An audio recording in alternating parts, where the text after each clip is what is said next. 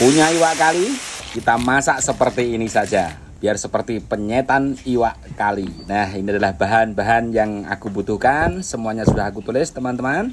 Seperti biasa, aku ambil dulu cobeknya. Ini aku siapkan. Ini cantuknya aku kirim dulu ke atas. Dan ini adalah bumbu yang kita haluskan.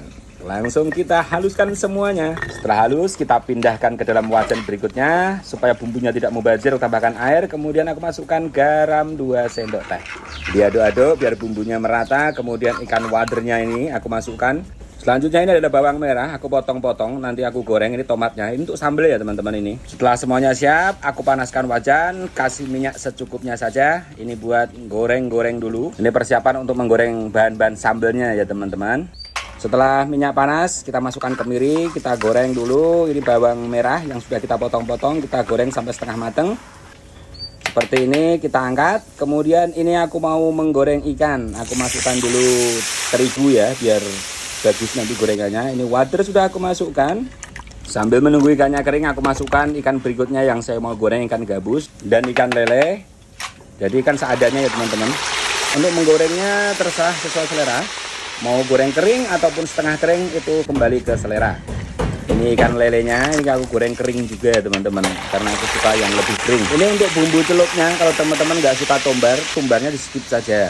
Itu juga enak rasanya. Ini ikan gabusnya sudah kering saya angkat. Kalau besar namanya kutuk kalau kecil namanya kocolan. Ini adalah cabai ini aku goreng dulu juga.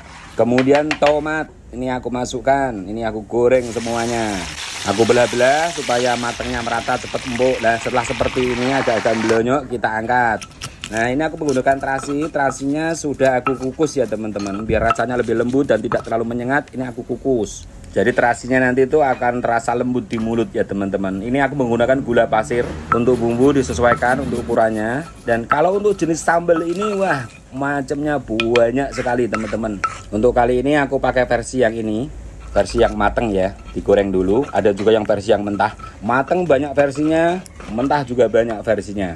Nah ini penyajiannya. Kalau versi ini ada yang tomat dan sambalnya itu terpisah. Ini yang suka nggak begitu pedes. Ini tomatnya ditambahin lagi di atasnya terus diulek-ulek lagi. Kalau yang suka pedes itu tidak dikasih tomat. Sambelnya aja terus dikecepin jeruk seperti ini ya teman-teman. Jeruk ini juga opsional. Kalau yang nggak suka juga bisa di skip karena kita masak buat orang banyak jadi kita menyesuaikan apa selera yang mau makan ini. Jadi kita nggak boleh kekeh dengan selera kita sendiri ya. Tapi yang pasti kita harus punya standar sendiri buat masakan kita sendiri ya. Nah ini penyajiannya seperti ini. Ini aku menggunakan ikan seadanya yang aku dapat yaitu wader, lele, dan gabus tadi. Kalau iwak kali, aku yang paling suka adalah beluso atau betutu. Ini tambah belut juga lebih maknyus. Ini hasilnya teman-teman seperti ini tampilannya untuk proporsinya. Ini aku cicip. Sambelnya ini cenderung gurih, karena menggunakan kemiri ya. Dan ini lembut dan semuanya paduannya itu hmm. pas. Untuk pemanisnya ini aku menggunakan gula pasir ya. Tidak gula jawa atau gula aren. Karena untuk paduan ini saya lebih suka ke gula pasirnya. Wah ini kita cocok seperti ini.